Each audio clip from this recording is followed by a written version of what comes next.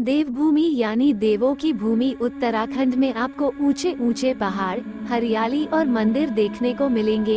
इन्हें देखने के लिए दूर दूर से हर साल लाखों की संख्या में लोग आते हैं।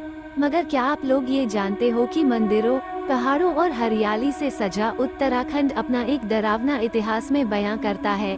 यहाँ पर कई ऐसी रहस्यमयी घटनाएँ होती रहती हैं, जिन्हें सुनकर रोंगटे खड़े हो जाते हैं। यहाँ पर कई डरावनी जगहें हैं उन्हीं में से एक है, चंपावत ज़िले के लोहाघाट में स्थित मुक्ति कोठरी। इस कोठरी के पीछे की कहानी को जानकर होश उड़ जाएँगे, दरअसल। आज मुक्ति कोठरी के नाम से जानी जाने वाली ये जगह कभी एक खूबसूरत बंगला हुआ करती थी, जिसमें एक ब्रिटिश फैमिली रहती थी। बाद में उस फैमिली ने इस बंगले को अस्पताल बनाने के लिए दान कर दिया। एबी नामक बंगले के बारे में पता करने पर पता चला कि यह 1900 के दशक में उसके मालिक के नाम पर रखा गया था। इस एबी बंगले को बाद में एक हॉस्पिटल में बदला गया, जहाँ पर एक डॉक्टर, जिसका नाम मॉरिस, बताया जाता है। लोगों की मौत को पहले से ही बता देता था। उसके बाद वो उस मरीज़ को उस हॉस्पिटल के पास स्थित मुक्ति घर में भेज देता था और अगली सुबह ही उस मरीज़ की मौत हो जाती थी।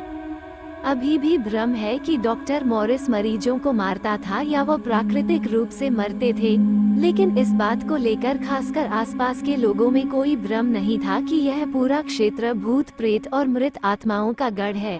लोग बताते हैं कि एबी पूरे क्षेत्र का पहला घर था जो कि उस पहाड़ी पर प्रेतों का गढ़ माना गया। यहाँ पर कई तरह की भूत की कहानियाँ प्रचलित हैं, जिसमें लोगों के अनुसार यहाँ भूत की ढांग पर दो आत्माओं को रात को कई बार लोगों ने टहलते हुए देखा है। 1915 के आसपास ये हॉस्पिटल भारत के जाने माने हॉस्पिटल्स में से एक था और यहाँ पर देश भर से लोग अपना इलाज कराने के लिए आते थे।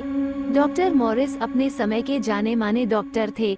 वो लोगों का इलाज करते थे और नब्ज देखकर उसका भविष्य बता देते थे। इसलिए लोगों का विश्वास उन पर बढ़ता गया।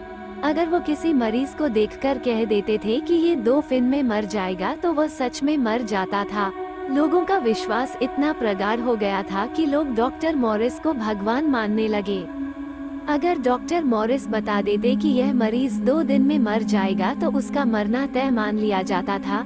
ऐसे में लोग मरीजों को नीचे बने एक घर में छोड़कर जाने लगे, जिसे मुक्ति घर या फिर मुक्ति कोठरी कहा जाता था। ज़्यादातर मरीज़ तो सचमुच मर जाते थे, लेकिन कुछ बच जाते थे। लेकिन उनका कोई वहाँ सगा संबंधी नहीं होता था जो उसे घर ले जाए।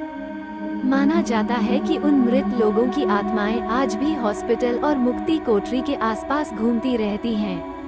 ऐसे में डॉक्टर मॉरिस उन ज़िंदा लोगों जिनकी किसी को ज़रूरत नहीं थी, उन पर रिसर्च करने लगे। ऐसा बताया जाता है कि डॉक्टर मॉरिस उन ज़िंदा इंसानों के ब्रेन को खोल देते थे और इस बात को पता लगाने की कोशिश करते थे कि एक ज़िंदा व्यक्ति और मृत व्यक्ति के दिमाग में क्या अंतर आता है। इस तरह से वह ज़िंदा व्यक्ति को इंजेक्शन देकर ज़िंदा और मृत की बीच की अवस्था में रखते थे। लेकिन दिल्ली के एक डॉक्टर ने इस बात का पर्दाफाश कर दिया और वो आधा ज़िंदा और आधे मरे इंसानों ने बीच में ही दम तोड़ दिया। और उनका शोध आगे नहीं बढ़ सका।